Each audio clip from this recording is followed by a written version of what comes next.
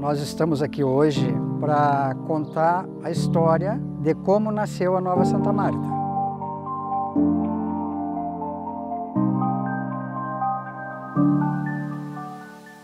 Ela nasceu através de uma preocupação nossa do movimento de luta pela moradia. Foi discutido a criação deste movimento, objetivando a moradia para as pessoas onde não tinham onde morar. E aí nós preocupados com isso, começamos a nos reunirmos com as pessoas nos salões comunitários das vilas, nos salões de, de, da, das associações comunitárias e saber da dificuldade daquelas pessoas. Umas moravam com o pai, apertado numa casinha pequena, duas, três casinhas num pátio só. E eram pessoas que já tinham família, ou seja, tinham filhos. Né? E a gente vivia preocupado com isso, então a gente transmitia isso a eles. E aí nós chegamos no, no, no astronômico número, isso em 1991, a gente chegou no, no, no astronômico número de 1.200 famílias que não tinham onde morar, que viviam precariamente. Fizemos audiência com a prefeitura, com o governo do estado e descobrimos que em Santa Maria existia uma área ah, na Fazenda Santa Marta, ao lado do Distrito Industrial, que era uma área destinada à habitação. Procuramos a saber do Poder Público Estadual qual era o programa habitacional para Santa Maria. E aí eles nos disseram que não tinham nenhum projeto habitacional para Santa Maria, apesar deles terem a área disponível. Não existia recurso nem nada, né? para fazer habitação para as famílias, porque existia um determinado, eram 3.400 lotes construídos e, e 2.200 só o terreno. E aí começamos a fazer de novo, periodicamente, todas as reuniões, para saber das pessoas o que, que eles achavam. Eles acharam, não, temos que ocupar. Se tem essa área, vamos ocupar. Aí nós então passamos a dizer, então, esse dia vai chegar. Vocês tratem de arrumar lona, tratem de arrumar madeira, para fazer as barracas no dia que nós ocupar. Mas quando vai ser esse dia? Bom, esse dia vai chegar, mas vocês procurem já organizar isso. O dia que vai chegar, nós vamos só avisar dois dias antes. É amanhã. E isso nós fizemos.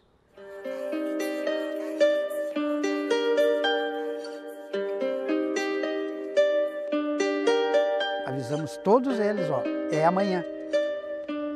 Mas onde é que vai ser o nosso encontro? Bom, o nosso encontro vai ser na Igreja São João Evangelista, na Caramelo, na Vila Caramelo, a partir das seis e meia da tarde.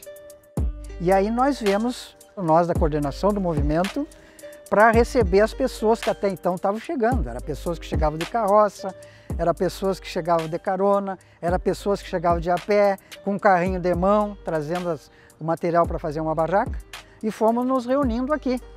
E aí o pessoal chegando e nós trazendo o pessoal para cá, para o lado da igreja, né? neste, neste pomar verde aqui. Todo mundo se acomodando por aqui, na sombra e coisa e tal. Era uma noite quente, inclusive, uma noite de 6 para 7 de dezembro de 91. Enquanto aguardava chegar a hora, o pessoal tomava chimarrão, conversava uns com os outros, né? Outros que não se conheciam se conheceram agora, ali naquele momento. Ah, mas o fulano, ah, mas tem, ah, o fulano e coisa e tal. Ah, sim, eu sou cunhado, eu sou primo do fulano. Então, formou uma integração assim de uma irmandade, muito bonito. E nós, ah, ah, como coordenação do movimento, nós inclusive estávamos preocupados como é que ia se dar essa relação.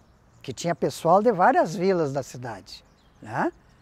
Mas não, foi ótimo, mas foi uma maravilha. E aí, com o decorrer das horas, eles foram ficando como que já se conhecesse há muito tempo. E aí o pessoal todo acomodado aqui, tudo prontinho, coisa e tal, fizemos a reunião com eles. E aí dissemos, ó, vamos sair daqui em torno de meia-noite e 15, meia-noite e 20. Nas vilas, nos bairros aqui em Roda, era um silêncio total. Então nós deveríamos fazer o máximo silêncio possível.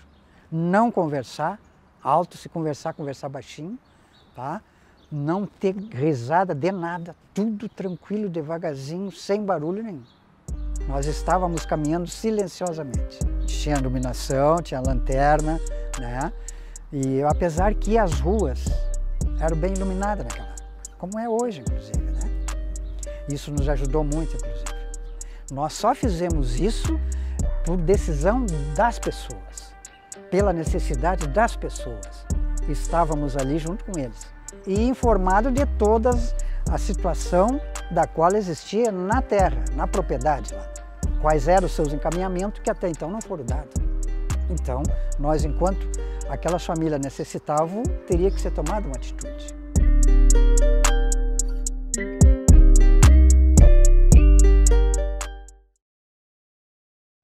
Nós chegamos aqui, o, o, grupo todo, e aí nós nos separamos em dois grupos. Um grupo foi para lá e o outro grupo foi para cá. Com receio de ter algum obstáculo no caminho, dividimos em dois o grupo. Este grupo que foi para lá, ele ia encontrar as cocheiras do prado, ia encontrar uma lavoura de milho, para depois chegar na terra prometida. E nós subimos aqui e chegamos na frente da Igreja Divino Espírito Santo, que é da Vila Prado. Fizemos uma pequena rezinha ali para nos dar proteção e para nos ajudar, né? E aí seguimos a caminhada, mais preocupado também com esse outro grupo que estava indo por aqui. Que o objetivo nosso era nos encontrarmos os dois grupos lá na Terra Prometida, porque nós já sabíamos o caminho.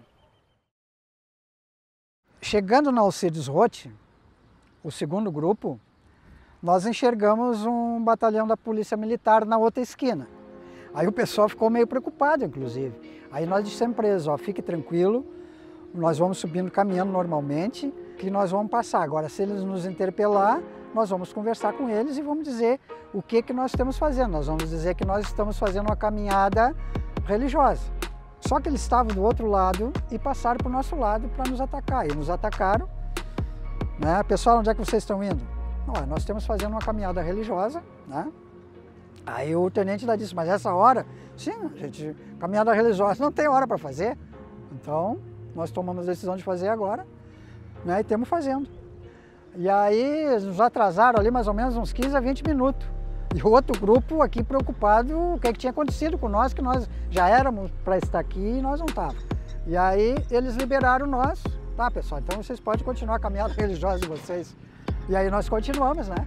Continuamos a caminhada e chegamos aqui na Terra Prometida, né? E encontramos o segundo grupo, preocupados já com nós. Inclusive eles já saíam atrás, descer a avenida para ver o que, é que tinha acontecido. Ainda bem que eles tiveram a paciência de esperar nós. Aí a gente fez todas as barracas que tinha o material para fazer, cada um com o seu material. E aí passamos a noite ali, tomando chimarrão, conversando e tal. E aí, quando, se não quando, ao amanhecer, cerca de 5 e meia da manhã, do dia 7 de dezembro, por sinal um dia escaldante de quente.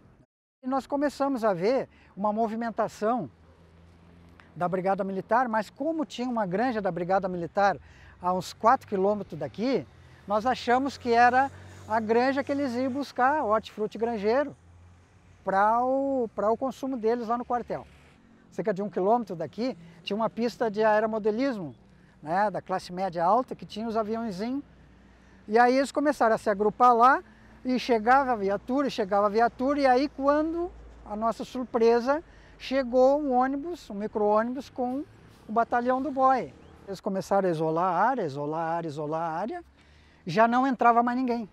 Pelas nove e meia da, da manhã, o batalhão se desloca lá de cima e vem vindo ao encontro nosso aqui. E aí, nós da coordenação do movimento, tomamos a decisão de não deixar eles chegar perto da, da massa, ou seja, do, dos ocupantes, né? Nós fomos encontrar eles cerca de uns 50 metros longe do acampamento. E aí eles viram que nós estávamos indo de encontro a eles. Quando chegou uns, uns 15 metros de distância, o tenente da tropa mandou parar a tropa e pediu para nós parar. Aí nós paramos. Aí ele veio, ele sozinho, ficou na metade do caminho, cerca de, um, de uns 10 metros de nós, da coordenação do movimento, perguntou qual era o motivo de nós estarmos aqui. Aí nós relatamos a ele que o motivo era de que nós estávamos com aquelas famílias que precisavam de local para morar e esta terra, este local, era para lotes urbanizados e casa para moradia. E enquanto o governo não tinha condição né, financeira de fazer isso, nós, enquanto a, a Movimento da Moradia, né, apoiando os moradores, nós tomamos a decisão junto com os moradores. Os moradores tomaram essa decisão. Então esse era o motivo de nós estarmos aqui. Aí ele imediatamente ah, tomou a liberdade de ligar para o comandante da, da, Brigada Militar, que era o coronel Roque Vilandi. E aí o coronel disse para ele, ó, mantenha a área isolada, tá? que eu vou entrar em contato com o governo do estado. Nós ficamos esperando aquele impasse. Mas aí, cerca de, uns 40 minutos, veio a ordem do, do, do governo do estado para o comandante dizendo de que liberasse a área, tá? que a partir, isso era um feriado na, na segunda-feira, que a partir de terça-feira eles iam solicitar uma audiência com nós com o movimento de luta pela moradia, que eles desbloqueassem a área, abrissem a área. E aí o tenente nos transmitiu isso. E voltou para lá e a área foi aberta. E tinha centenas de pessoas já do lado de fora esperando para entrar. Então isso para nós foi, foi, o, foi a, consagração de que nós estávamos certo no nosso objetivo, junto com aquelas famílias. E aí eles, eles abriram a área e começou a entrar gente de carroça, gente de cavalo, trazendo material de barraca para montar a barraca. Né? Então, aquelas 33 famílias né, se tornaram em 15, em 15 dias e nós fazíamos todo um cadastramento de quantas crianças tinha em cada família, o que é que fazia, o que é que não fazia, né, aonde morava, com quem morava. E nós chegamos ao número de 351 famílias, que totalizava 1.080 pessoas com as crianças. A gente achou em criar esse nome da Terra Prometida, porque nós, na verdade, a maioria era o católico. Nas reuniões a gente sempre lembrava né, da caminhada de Moisés com seu povo, né?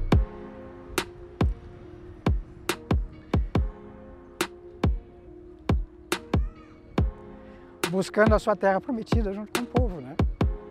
Então nós achamos que esse nome cairia bem para nós. Terra prometida.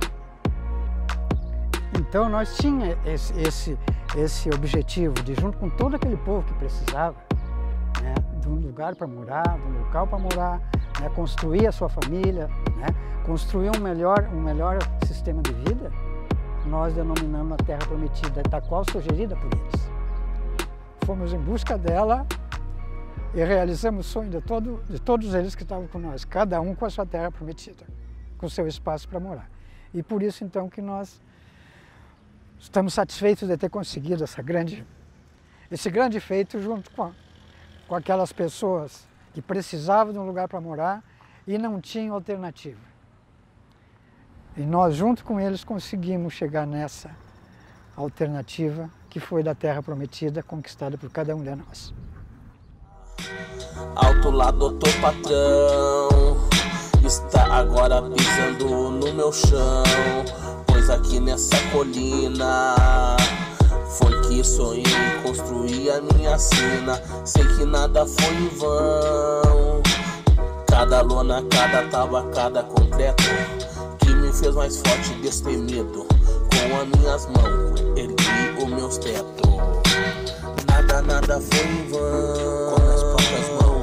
Nada, foi em vão. Com as próprias mãos, nada, nada foi em vão. Com as próprias mãos, nada, nada foi em vão. Com as próprias mãos, nada, nada foi em vão. Com as próprias mãos, nada, nada foi em vão. Com a própria mão, nada, nada foi em vão. Com a própria mão nada, nada foi em vão.